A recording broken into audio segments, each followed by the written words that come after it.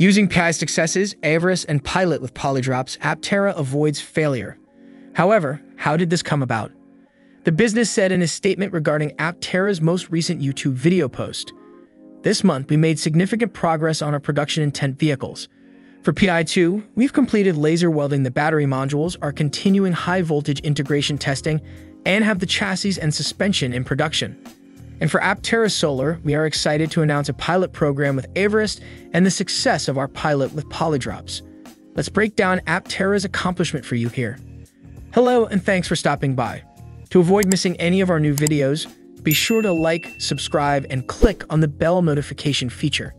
Sharing is greatly valued, and we appreciate your participation and feedback in the comment section below. Aptera continues to make significant advancements in its production-oriented vehicles, which serve as the means of verifying and examining the production design. Aptera released an update on its battery module validation earlier this month. Tim Vaughan stated that this startup has built the remaining modules and finished laser welding for PI2 after the battery modules passed accelerated life cycle testing on a local laboratory's shock table. What distinguishes PI1 from PI2 then? Aptera's wire harness test mule PI1 is utilized for cable measurements and fitment validation and PI2 the first of several driving vehicles will follow. Going forward, Aptera is eager to start testing PI2 in real-world settings, so you'll witness the majority of its progress today. The Aptera team has been able to run wires in the bins thanks to PI1.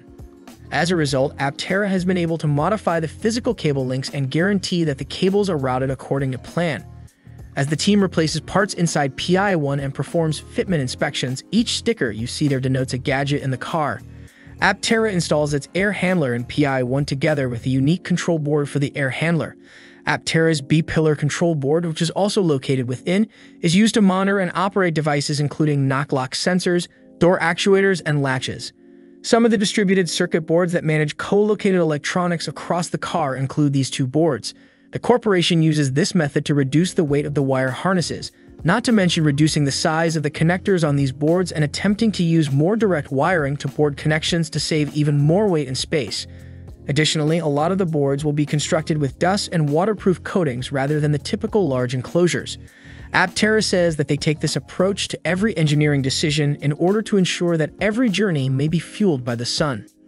Alright, then Aptera is working incredibly hard to get this stylish SEV into the hands of customers as quickly as possible. Thus, what is the significance of PI2? The CPC Group, an Italian firm that Aptera signed a contract with to construct its specialist composite vehicle bodies, helped Aptera finish its chassis and suspension design last month. In the center of the Italian Motor Valley, where storied supercars and motorbikes have been produced for decades, is where CPC is situated in Modena, Italy. This month, Aptera co-CEO Steve Fambro is excited to announce that the chassis and suspension are currently being manufactured and will be on display at Aptera's offices come summertime. The order is composed of several metal components, some of which are made of aluminum, including tiny sections like bin C and C. Steve Fambro claims that Aptera has already noticed improvements from the factory and is excited that new parts will be available shortly. The electrical systems team is currently doing high and low voltage integration testing for the components utilized in PI2 outside the vehicle in anticipation of this exciting occasion. To guarantee that engineers have complete access to the equipment in a safe and regulated environment, this kind of validation is essential. Steve Fambro from Aptera included information about solar progress in the most recent video.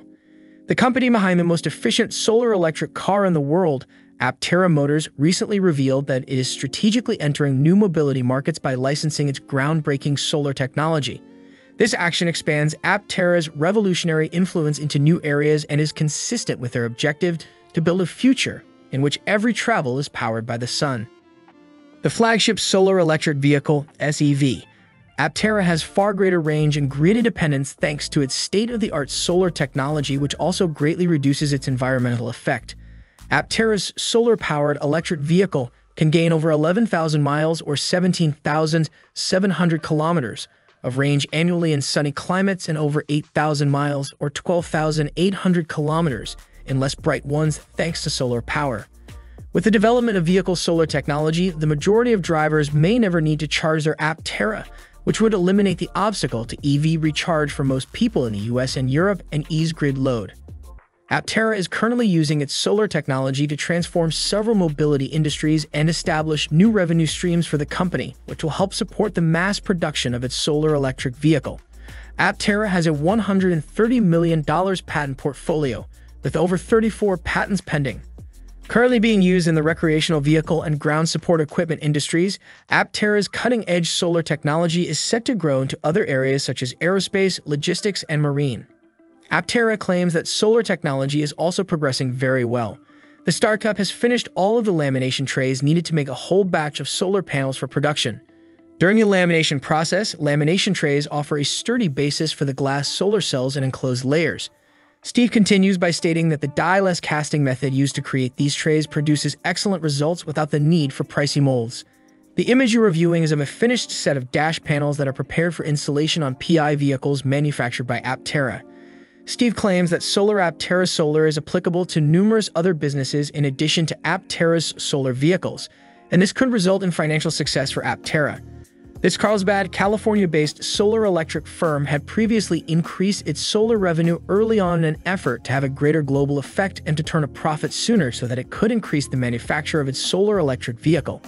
The business started a test project that involved adapting one of the biggest airlines in the world's support equipment, Aptera and Averest are working together to adapt this technology to push back tractors and other electric utility vehicles, such as luggage carts, that are used on tarmac. This pilot project aims to reduce maintenance requirements and downtime hazards, potentially eliminating the need for traditional charging entirely and greatly increasing operating readiness. Aptera anticipates that by the end of Q3, the pilot project will be finished. The startup also finished a test project with Polydrop, a company renowned for its creative EV trailers made for economical and environmentally friendly transportation. Maximum energy capture is ensured by using Aptera's custom-fit panels, which also provide a high power output of 1300 watts, providing enough energy for long excursions and off-grid applications. Custom-fit panels from Aptera are automotive quality, fit the design of the trailer, and are substantially lighter than conventional panels. Aptera also unveiled a sneak peek of its upcoming website as the company's current round CF crowdfunding campaign draws to a close. Aptera claims that this new website is vehicle emission forward and that it was created to have an infotainment system experience that is consistent with the app's design. Additionally, Aptera excitedly states that fresh renders of the production vehicle design will be included with the new vehicle configurator. At last, Aptera is allowing its approved community to invest in any kind of asset they choose. Thus, the startup has brought back the option for self-directed IAS and cryptocurrency investments through our regular offering. On June 28 at 12 o'clock p.m. Pacific Time, the company plans to conclude its regular CF crowdfunding with a live video on YouTube. So keep an eye out for this fantastic live broadcast. Aptera will be live with Steve and Chris in addition to the finance, communication, and engineering teams. You won't want to be anywhere else during this live broadcast. The upcoming months at Aptera will be quite exciting as we start our funding round with U.S. Capital in July and suppliers continue to deliver production vehicle parts for our PI vehicles. It's been a great deal sticking around to this point. That wraps it up for this video. What do you think about Aptera's latest PI progress, Averest partnership, and the success of its pilot with Polydrops? Let us know in the comments section below. Be sure to like, subscribe, share, and turn on the bell notification icon to stay up to speed with new video uploads. As always, thank you so much for watching and see you in the next video.